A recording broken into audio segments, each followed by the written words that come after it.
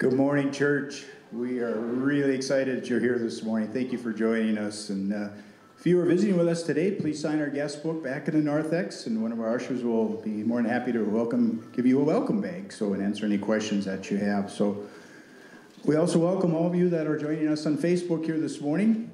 Uh, we're asking everyone, or if you would be willing to put a name tag on for us this morning to help pastor out and the visitors that get to know us. Uh, you can find them back in the entrance there or over on the, uh, the table in the narthex. So, if you're willing to do that. So, we have a really exciting day today. Here today, we have uh, we're so blessed to have Pastor Scott Strokirch with us here this morning. Uh, the call committee has had a couple meetings with Pastor. Uh, he's accepted to come up and do the interim pastor here for us. Um, and so we are so excited he's here. Uh, got to Duluth here on Wednesday afternoon. We got him moved in, settled in. Uh, he's got the parsonage looking nice over there and got all his books in his office, and uh, he's, he's been a busy guy already. So, uh, Pastor's done a little bio for us about himself, and that's in uh, December Messenger. If you haven't had a chance to read that yet, uh, Pastor did a nice job there. So, uh, I'll also like to invite all the men here to our Band of Brothers men's group. We meet Wednesday morning at Caribou Coffee over by Cub Foods there. Uh, 7 o'clock, all men of the church are invited to join us for uh, devotion and fellowship time. Also exciting this week, we've got the Spritz cookie making going on Tuesday, December 5th, and again on Wednesday, December 6th. So hoping in two days we can uh, get all those cookies knocked out, and uh, we're excited for, uh, for that time. So there's volunteer sign-up sheets down in the fellowship hall.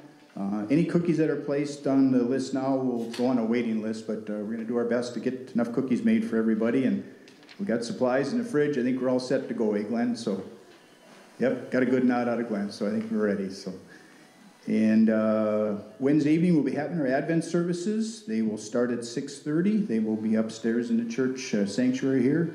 Pastor Scott will be uh, leading us in that. And uh, Esther Circle will be meeting this Thursday morning, December 7th at 10 o'clock in Fellowship Hall. All women of the church are welcome to join them in fellowship, Bible study, and their business meeting. And as a side note, uh, their meeting time may be adjusted a little bit if the cookies uh, do have a tendency to go into Thursday, but uh, we'll know more there on, on Wednesday on that, so we'll keep you informed. Uh, very uh, thankful for the Esther Circle and those that came on uh, last Thursday to get the church ready for Advent and Christmas time. Got the tree up and wreaths up, and it looks really awesome in here. Thank you, everybody. And then also, the Esther Circle is sponsoring their hat and mitten drive for the students at Piedmont School. We are accepting homemade and purchased items. Uh, please place those items in the narthex by or under the tree over there if you would. Uh, we will bring what items we have over to school before Christmas, uh, but, but still will be accepting items after Christmas to, to give out to the students there as long as they need them in the spring. So um, we will be having our installation of the 2024 Church Council during our church service on December 31st. And uh, this morning we will not be doing the chosen DVD Bible study this morning. Uh, we'll be doing cake and coffee and uh, have fellowship time to uh, meet and greet Pastor Scott here this morning. So I uh, need volunteers to bring treats on Sunday mornings. Uh, those that you have signed up, thank you. If you have any questions, please ask a member of the Esther Circle. if you can sign up on that sheet. So. The VFW will be holding the Pearl Harbor Day Memorial Service at the DECC on Thursday. December 7th at 11 o'clock in the Pioneer Hall at the DECC. Uh, Chuck's Barbershop Quartet will be uh, singing at this event, and the public is invited to that. So, uh, any other announcements here this morning that I can help with? So, if hearing none, we would. Uh, yes. Oh, Pastor. Uh, I want to explain what we're doing today for communion, to, so everybody's on the same page. Okay? Uh, like that, well, so I don't think All right.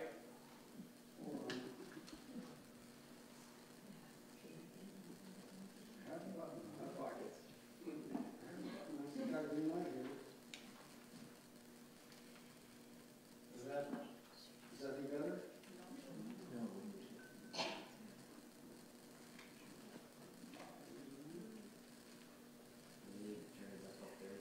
No, it shouldn't. Should. Testing, one, two, three. Testing, testing. All right, I'll talk louder. Good. All right, Come over here, maybe, because they, the. all right. Okay. Um, What we're going to do this morning is communion at the rail. For those of you who have a difficult time coming up and would rather just stay and get it at, in your pew, I'm gonna, it'll work like this. When I uh, turn around and say, the peace of the Lord be with you always, I'll commune myself, and I'll commune the assistants and the, and the music people, and then I'll come and get you before I get everybody else. That way, when I'm, because I, I understand I'm gonna be locked up here a little bit.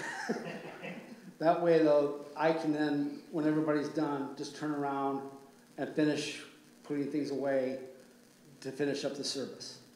Does everybody understand what's going on then? Do I make myself clear is what I used to have to say to my kids? Okay, that way I put it on me and not on them. All right, I just wanted to make sure we were all on the, on that page. So um, if you're going to stay down here, raise your hand so that I can come to you and, and give you communion at that time. All right? Thank you. This is technology.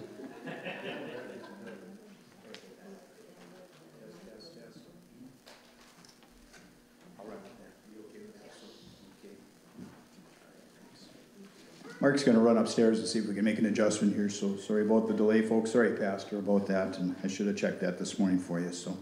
So as Pastor explained, uh, on the communion there, that you'll be excused, and we'll be starting in the middle here, and, and then going out from the outside and be excused from there, so.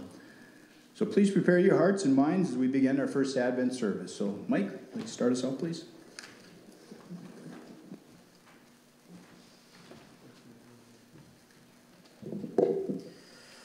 So Advent is a special focus on Christ's arrival or coming, but Christ's coming manifests itself among us in three ways, past, present, and future. The reading, readings which highlight Christ's coming in the past focus on Old Testament prophecy of his incarnation at Bethlehem.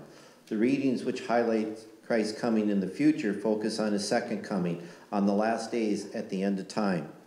And the readings which highlight Christ's coming in the present focus on his ministry among us by the means of the Holy Spirit through word and sacrament today. The tradition, traditional use of the Advent candles placed on the wreath originated in East Germany, even prior to the Reformation. As this tr- tradition came down to us by the beginning of this century, it involved three purple candles and one pink candle. The purple candles match the purple or royal blue paraments on the altar. Purple for the royalty of the coming king. The pink candle was the third candle to be lit, not the fourth on Gaudete Sunday, the third Sunday of Advent. Gaudete means rejoice in Latin, which is taken from Philippians 4 4. Rejoice, the Lord is near. Hence, the pink candle was used to signify rejoice. Also included is a white candle, Christ, Christ candle, in the middle of to be lit during the 12 days of Christmas from December 25th to January 5th.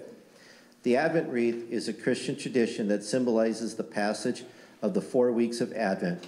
It is a circular candle holder that typically holds five candles. During the season of Advent, one candle on the wreath is lit each Sunday until all the candles, including the fifth candle, are lit on Christmas Day. Each candle represents an aspect of the spiritual preparation or the celebration of the birth of our Lord Jesus Christ. Most Advent wreaths use three colors of candle purple, pink, white. However, some may use blue in place of the purple. The first candle, purple or blue for us, the prophecy candle or candle of hope. We can have hope because of God is faithful and will keep the promise made to us.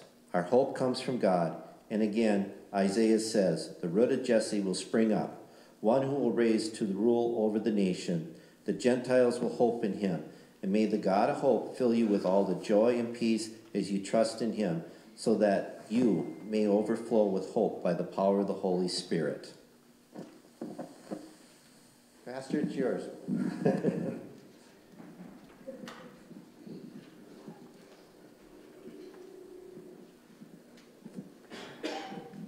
Should be working. Okay, is it working? Can you hear me? All right. So, We do call to worship. We love uh, all right, that's what I wanted. We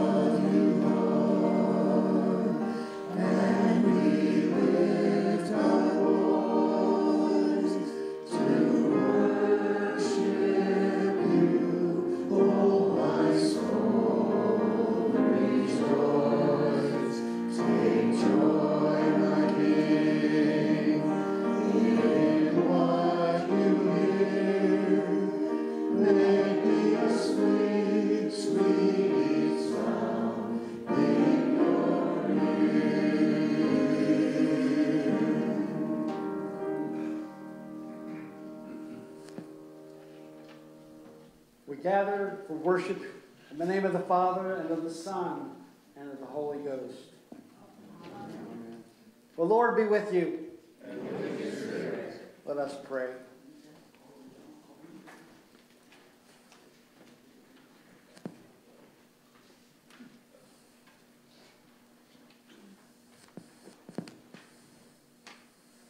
Heavenly Father,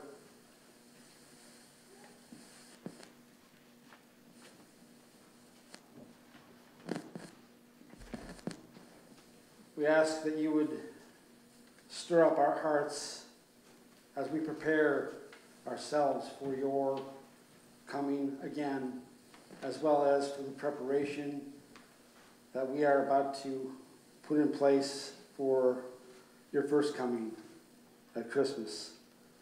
Be with us all as we get this preparation underway. In Jesus' name we pray.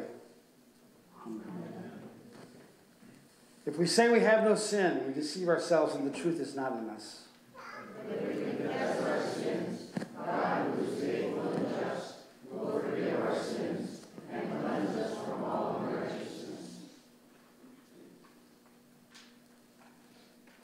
Let us then confess our sins to God our Father. We confess that we are in bondage to sin and cannot free ourselves.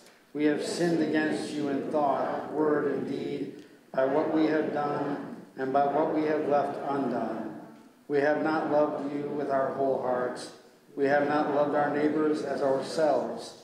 For the sake of your Son, Jesus Christ, have mercy on us, forgive us, renew us, and lead us so that we may delight in your will and walk in your ways to the glory of your holy name.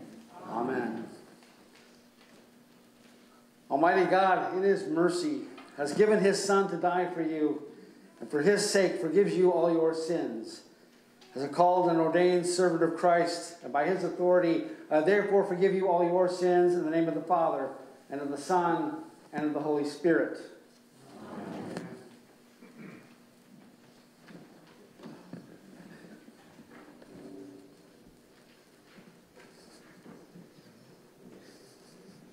You may be seated. We'll sing our opening hymn, number 244, Come Thou Long Expected Jesus.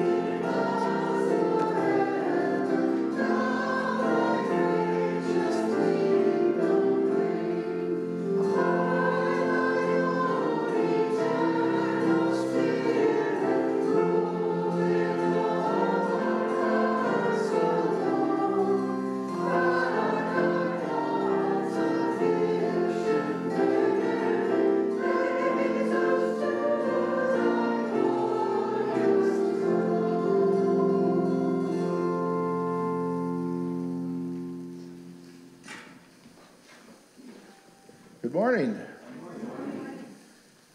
Our Old Testament reading this morning is from the book of Isaiah, chapter 64, and verses 1 through 9. Oh, that you would rend the heavens and come down, that the mountains might quake at your presence, as when fire kindles brushwood, and the fire causes water to boil, to make your name known to your adversaries, and that the nations might tremble at your presence. From of old, no one has heard or perceived by the ear, no eye has seen a God besides you, who acts for those who wait for him. You meet him who joyfully works righteousness, those who remember you in your ways. And behold, you are angry, and we sinned.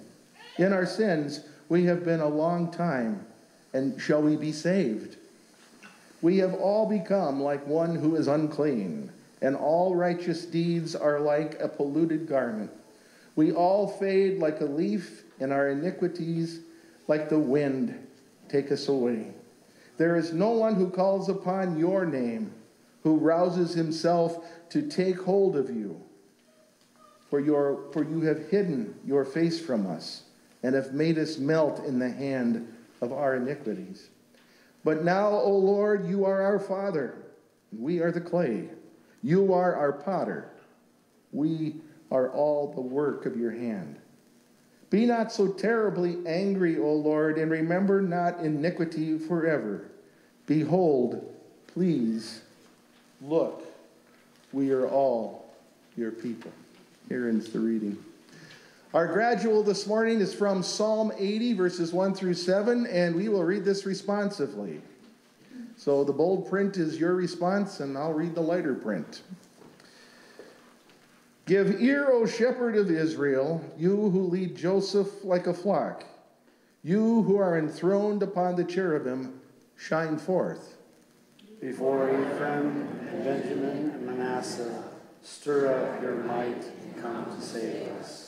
Restore us, O God. Let your face shine that we may be saved. O Lord God of hosts, how long will you be angry with your people's prayers? You have fed them with the bread of tears and given them tears to drink in full measure. You make us an object of contention for our neighbors, and our enemies laugh among themselves. Restore us, O Lord of hosts. Let your face shine, that we may be saved. Would you please join me in singing Our Glory Be to the Father, found on page 813 of your blue hymn book?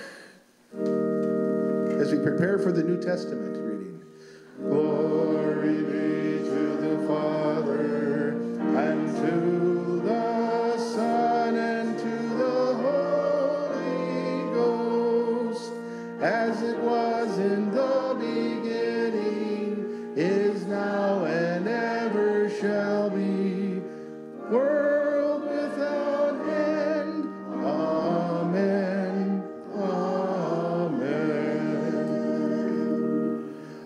Testament reading comes from Paul's first letter to the Corinthians, chapter 1, verses 3 through 9.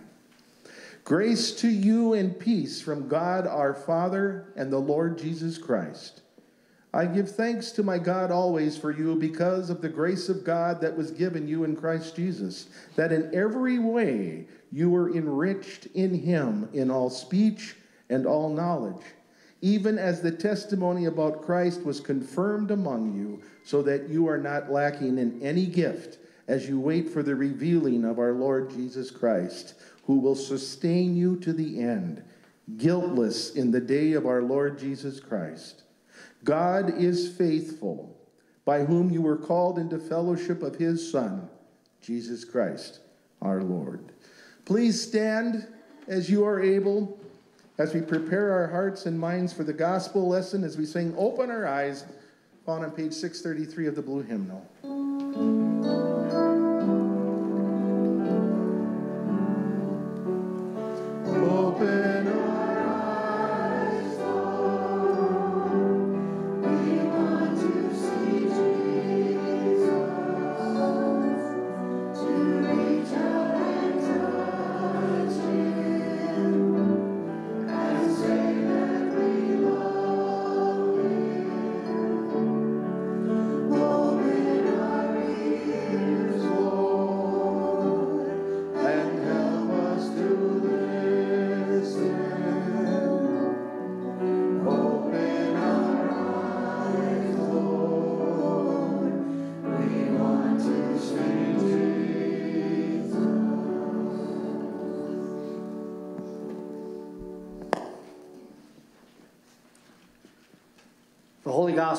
According to St. Mark, the 13th chapter.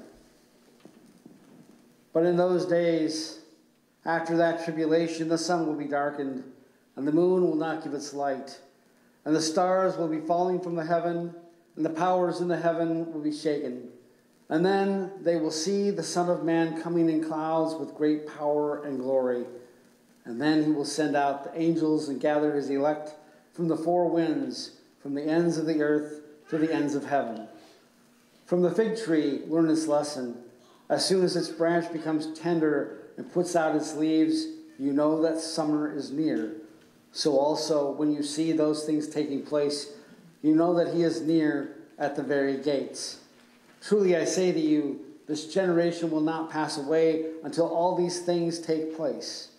Heaven and earth will pass away, but my words will not pass away. But concerning that day or that hour, no one knows, not even the angels in heaven, nor the Son, but only the Father. Be on guard, keep awake, for you do not know when the time will come.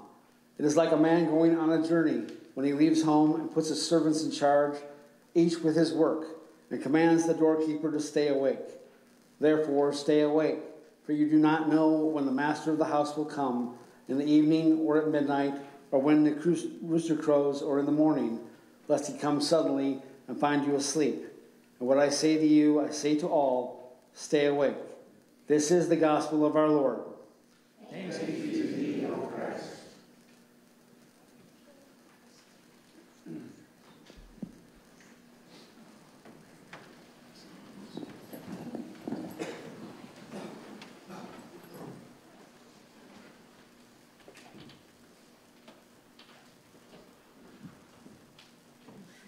How interesting that the very first words of our epistle reading this morning are the very way that most pastors greet you with the sermon. Grace to you and peace from God our Father and our Lord Jesus Christ.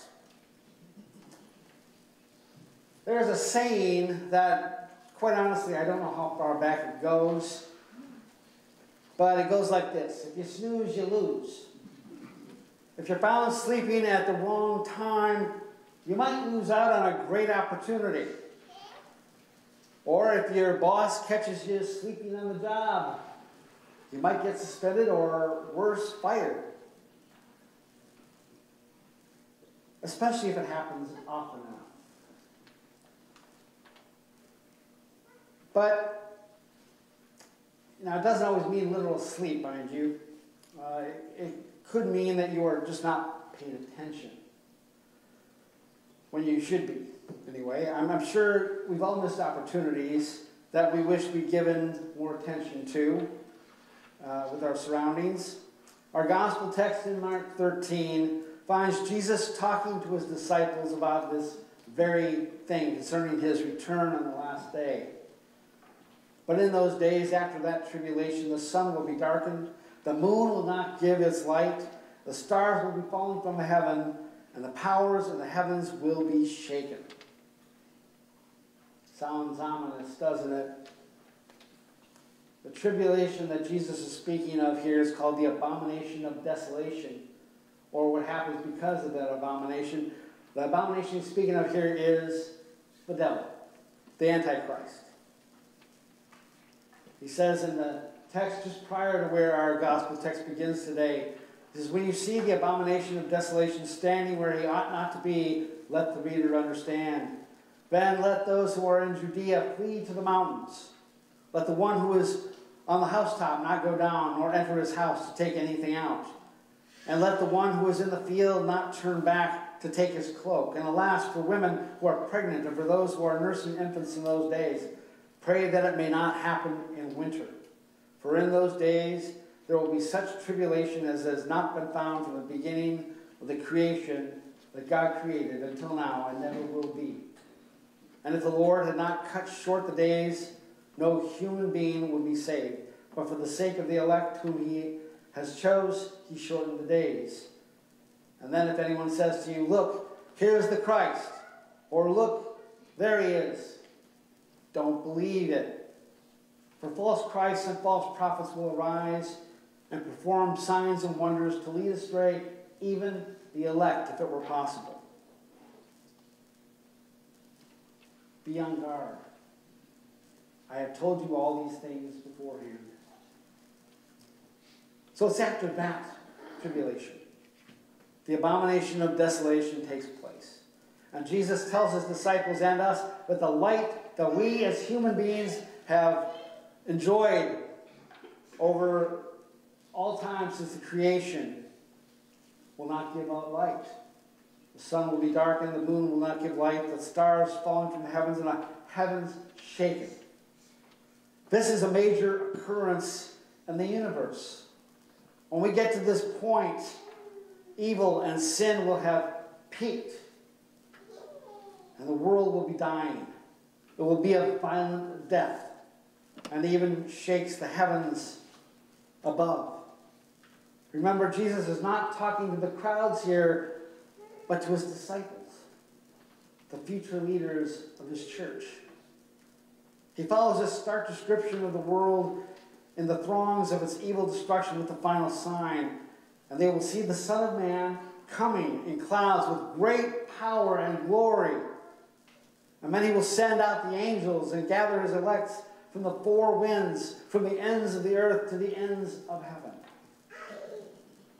Friends in Christ, this is what we confess in our creeds, both apostles and Nicene every week. In Acts 1, where Jesus ascends to heaven in the clouds 40 days after the resurrection, his disciples are watching him ascend upward in the cloud, straining their necks as they watch. And then two white men in robes appear and say, Men of Galilee, why do you stand looking into heaven?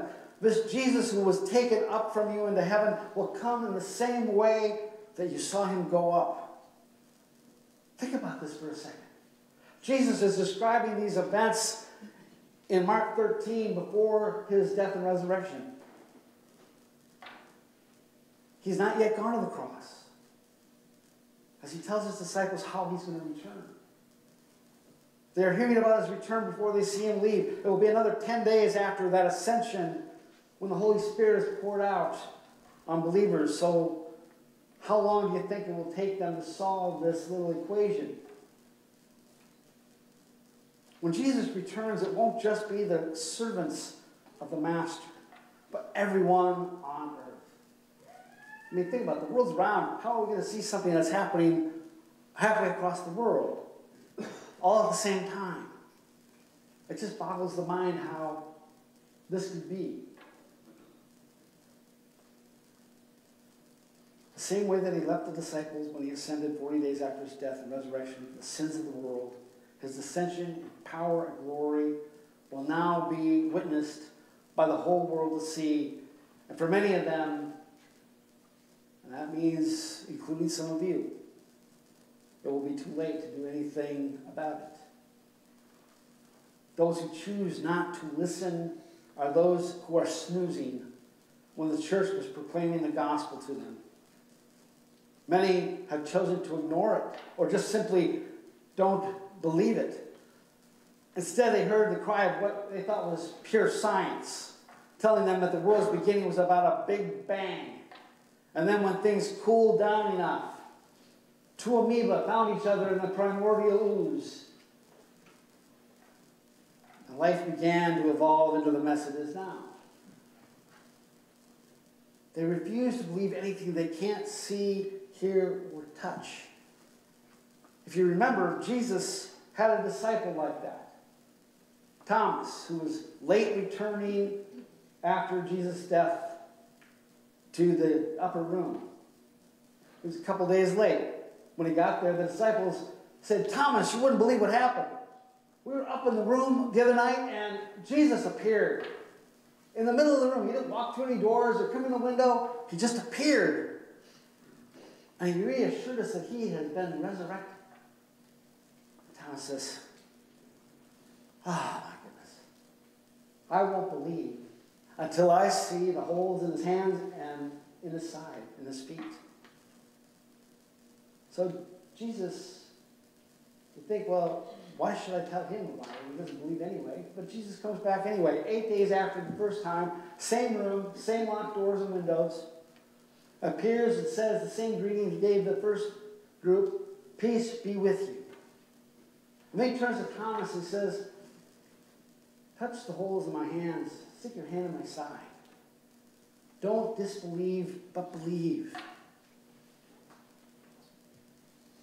Thomas got down on his knees before Jesus and he said, My Lord, my God. Jesus said to him, Have you believed because you have seen me? Blessed are those who have not seen and yet believe. Thomas repented. There are many who won't. After this description of Jesus about the light of the world being snuffed out, he tells them that these signs will be, that seeing these signs will be similar to that of seeing a fig tree as it nears summer. Its branches become tender and it puts out leaves. In the same way that you see these signs and recognize summer is coming, you're going to see these signs of the end coming as well, and you're going to know what it means. He says, Truly I say to you, this generation will not pass away until all these things take place. Surely many generations have come and gone since Christ ascended to heaven. But the generation who is going to experience that specific tribulation, just, just as we know when the seasons are about to change, we're going to see that those signs and know that they're coming. That generation will not pass away until these signs have passed. And they will be, the time of heaven will be at the very gates. It's hard to believe anyone would miss such bold signs of the end as such as those. Jesus has described for us this morning, and if you did, it would mean that you have been snoozing for way too long. Wake up, stay alert. Signs of the church prepare us for what's to come. A healthy church is grounded in God's word as true and infallible. We recognize no mistakes in God's word. I know some will say, yeah, but it was written by men written by men but inspired by the Holy Spirit. All, all teaching is God breathed and is useful in teaching, correcting, rebuking, and training in righteousness. That's uh, 2 Timothy 3.16. These signs prepare us for what's to come. The healthy church, like I said, is grounded in God's word, is true and infallible. His sacrament of baptism makes you his child the sacrament of the altar, aka the Lord's Supper or Holy Communion, are administered to the members as a foretaste of the feast to come. What a great feast it's going to be. Every kind of food you can imagine. But we get a little small foretaste of it here. As you receive his body given for you, his blood shed for you to forgive you your sins. Unfortunately, there are some tares among the wheat, and on that last day they will be separated and the chaff will be burned. In the last section of our text, Jesus gives us warning that we will not know the day or the hour. No one knows, not even the angels in heaven, nor the Son, but only the Father. Be on guard, keep awake, for you do not know when the time will come. He then gives us what seems like a familiar parable. It's like a man going on a journey when he leaves home and puts his servants in charge, each with his work, and commands the doorkeeper to stay awake. Therefore, stay awake, for you do not know when the master of the house will come. In the evening, or at midnight, or when the rooster crows, or in the morning, lest he come suddenly and find you asleep. And what I say to you, I say to all stay awake. Jesus calls them servants, but he mentions the gatekeeper specifically. We don't really know who the gatekeeper is, or because he's not named only in the, only his vocation. In Jesus' parable of the wise and foolish virgins, the gatekeeper cries out the arrival of the bridegroom. Many jokes that we've told over the years about somebody going to heaven and St. Peter being there to greet him at the pearly gates I often wonder why that is because they don't mention the gatekeeper, but I think it's because Peter is named the one who Jesus gives the keys of the gates of heaven. But those keys are about the forgiveness of sins, about confession and absolution, and who has the ability to grant such forgiveness. I can't say whether that makes Peter the gatekeeper or if it's someone else, but he is for sure one of Christ's servants. His servants called and ordained are here to prepare you for that day. God is preparing you through them as they proclaim Christ to you and feed you his body and his blood. As you study his word and Bible study and in your devotions that you do daily, they keep us steadfast in our faith and our mission to bring God's word to the nations, that all may hear and be baptized in the name of the Father, Most High God, Father, Son, and Holy Spirit. So let us continue as a congregation devoted to Christ as he prepares us for that day of which Christ in our gospel is speaking. We know not the day or the hour of his arrival, but we are assured of his promises. But the generation to endure that time will not pass away until the tribulation has passed. Remember, Jesus says, Heaven and earth will pass away, but my words will never pass away. If we're blessed to be living at that moment, we will see Christ coming in the clouds as he comes to take his faithful bride the church, home, to the place prepared for you and for me in his Father's kingdom. First, those who have fallen asleep in him will rise from their graves, followed by those who are still living. Paul writes in our epistle that we must put our faith in Christ Jesus, who will sustain us to the end, guiltless in the day of our Lord Jesus Christ. God is faithful, by whom you were called into the fellowship of Jesus Christ our Lord. So, be prepared and alert. Don't be snoozing and losing. Amen. The peace of God which surpasses all understanding, guard your hearts and minds in Christ Jesus.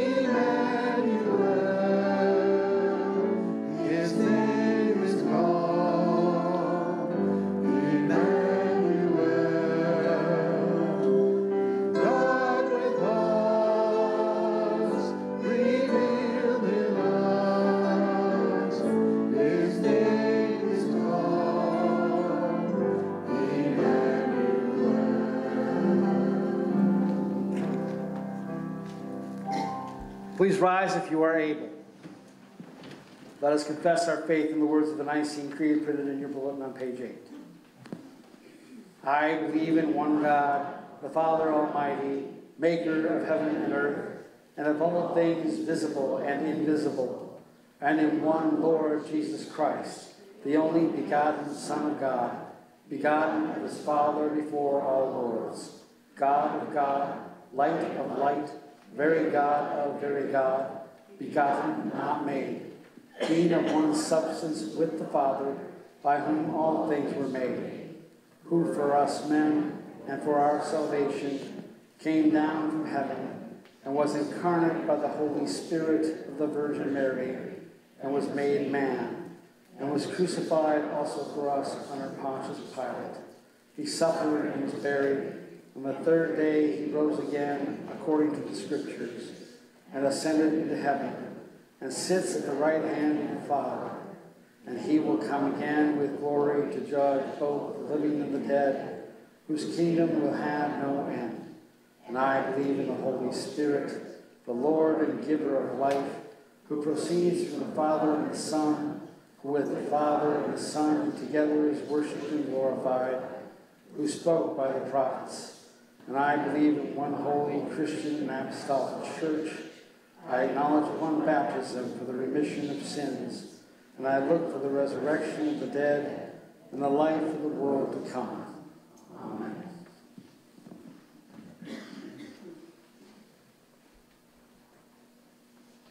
Let us pray for the whole church of God in Christ Jesus and for all people according to their needs. Gracious Lord, sustain your saints to the end as we enter another church year.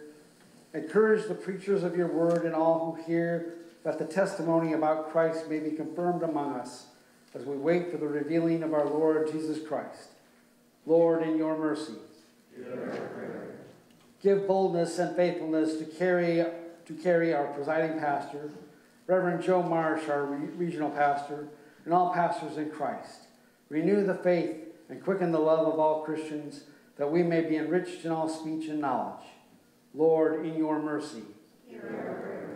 Heavenly Father, grant your blessing to all marriages and keep all husbands and wives faithful to each other. Guide them as they care for the children entrusted to them. Bestow your loving care upon all children who have suffered abuse or neglect, as well as upon all who open their homes to children in foster care. Lord, in your mercy.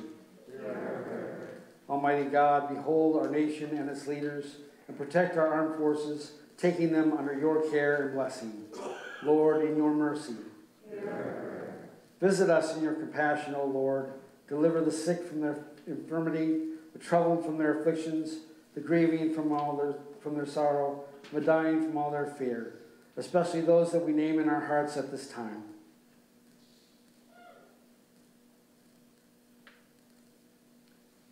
May all who cry to you receive grace according to your will. Lord, in your mercy. Merciful Lord, your Son, our Savior, Jesus Christ, entered Jerusalem to shouts and cheers of joy. Grant that we may be stirred by the word and sacraments to rejoice anew, now and in the second advent. Lord, in your mercy. Gracious Father, you have made us glad to enter into your presence to hear the good news of our Savior and receive your gifts. Preserve, O church, your church against all her enemies, lead us to walk in your ways and to follow your paths, that when Jesus returns in his glory, we may welcome him with glad hosannas. Through the same Jesus Christ, your Son, Lord, who lives and reigns with you in the Holy Spirit, one God, now and forever.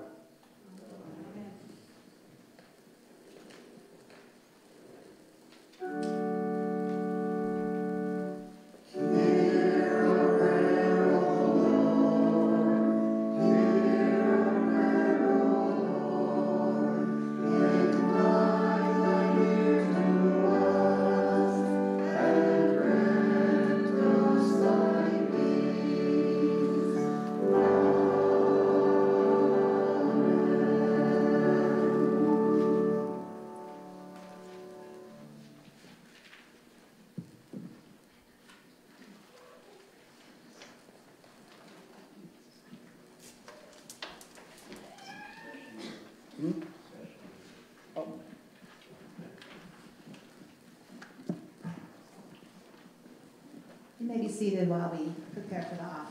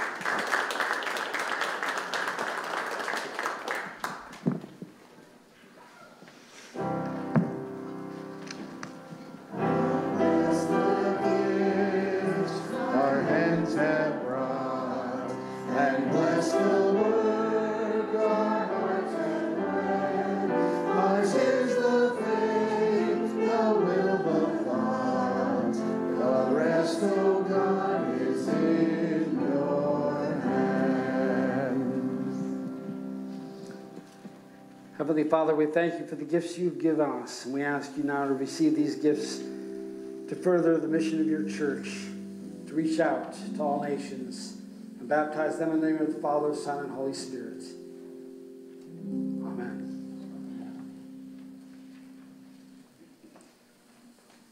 Continue our worship on page nine with the service of Holy Communion.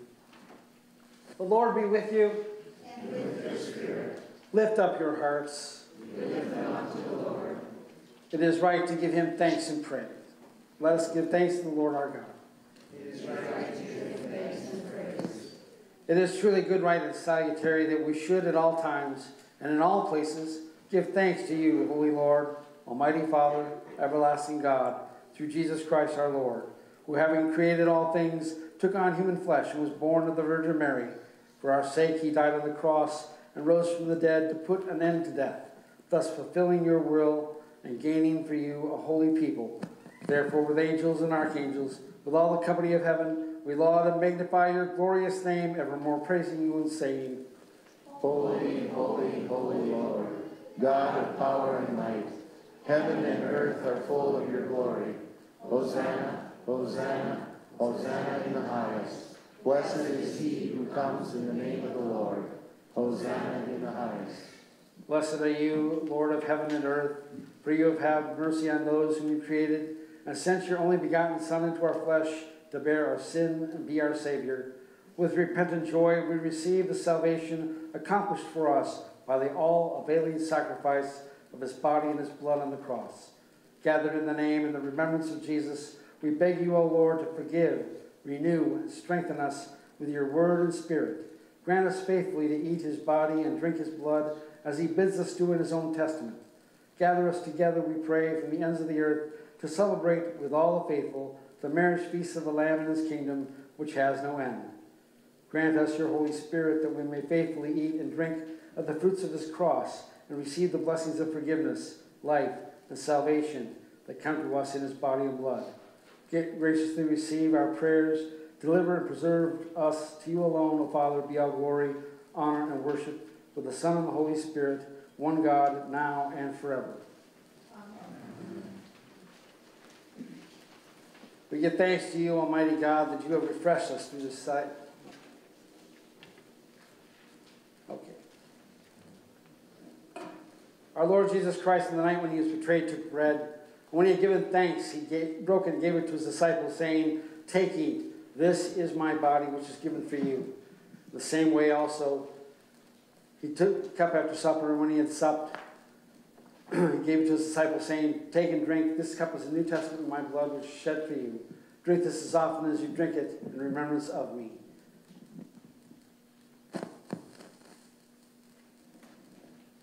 The peace of the Lord be with you always.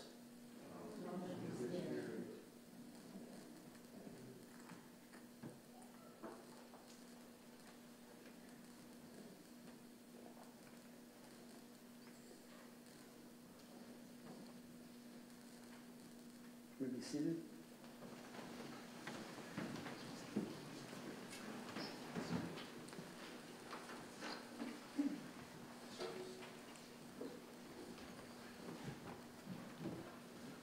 Oh, I'm, I'm sorry. I, I skipped ahead a page. My bad. Got- The page got stuck. As often as we eat this bread, drink this cup, we proclaim the Lord's death until he comes. Amen. Come, Lord Jesus. All right.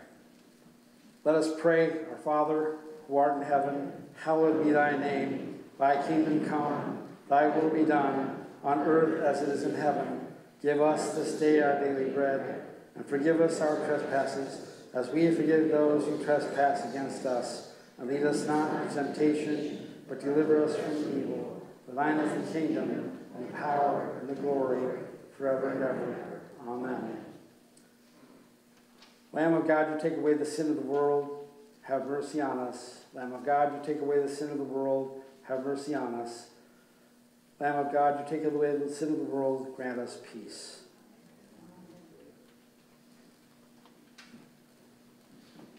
Welcome to the Lord's table. Take and eat Christ's body given for you. Take and eat.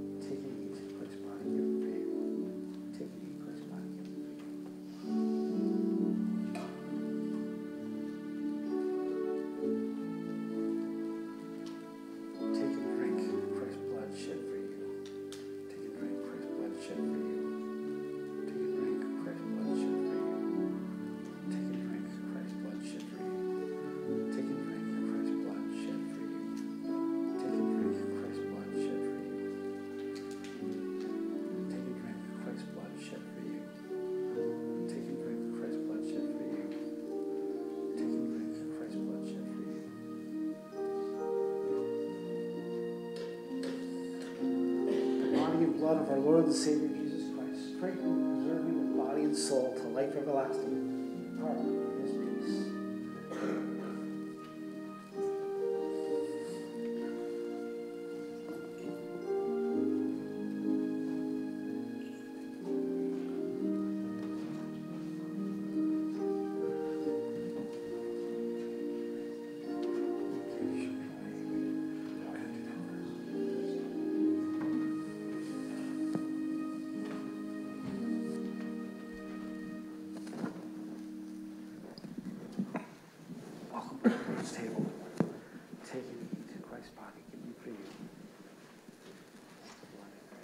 Number 462, Come Share the Lord.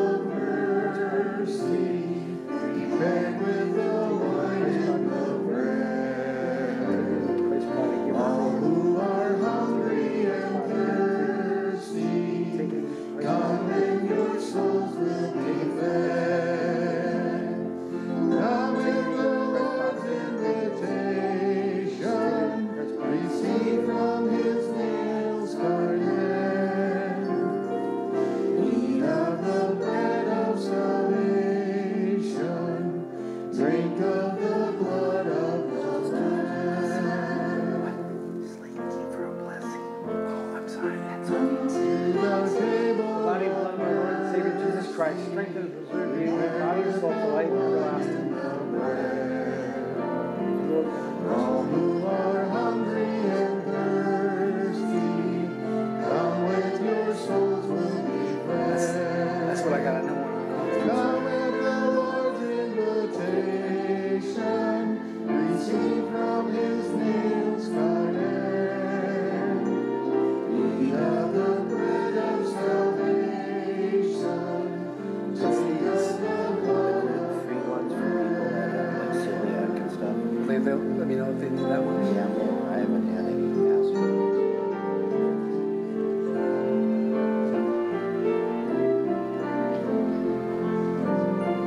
to the Lord's table.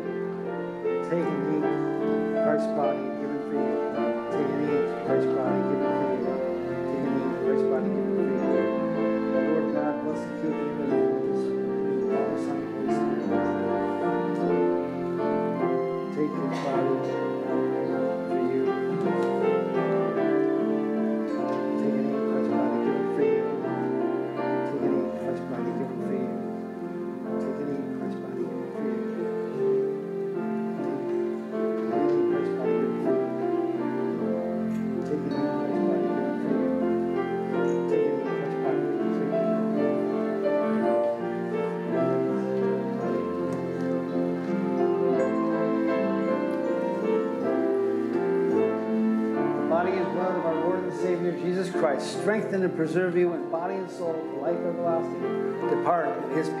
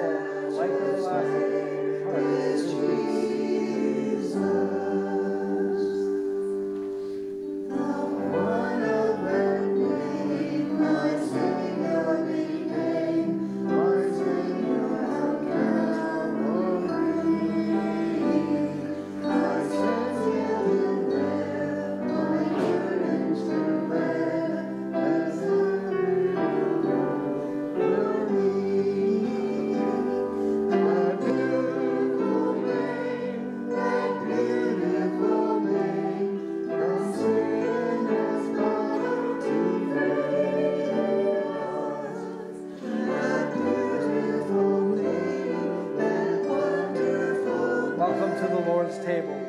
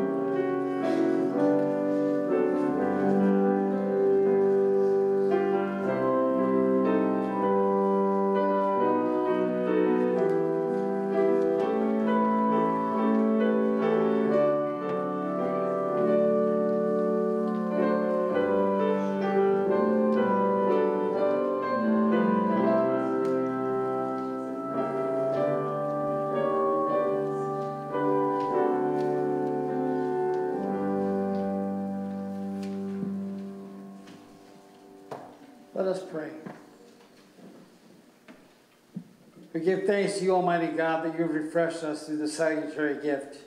We implore you that of your mercy you would strengthen us through the same in faith toward you and fervent love toward one another. Through Jesus Christ, your Son, our Lord, who lives and reigns with you in the Holy Spirit, one God, now and forever. Stand if you are able. The Lord bless you and keep you. The Lord make his face to shine upon you and be gracious to you. The Lord look upon you with favor and give you his peace.